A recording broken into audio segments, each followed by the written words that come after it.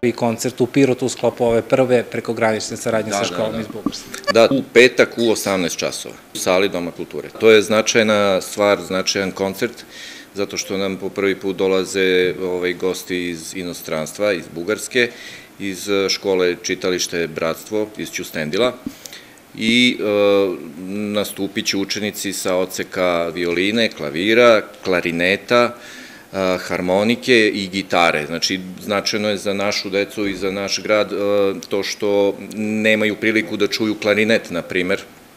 Mi klarinet nemamo u našoj školi.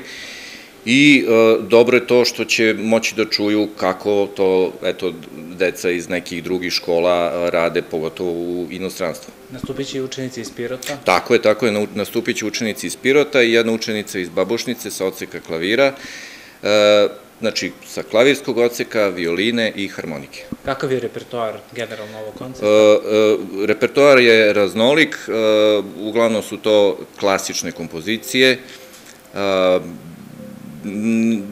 biće, biće dobar, e, dobar nastup e, hora koji, koji imaju ovaj, gosti iz Bugarske, to je e, hor koji izvodi i tradicionalne ovaj, bugarske melodije,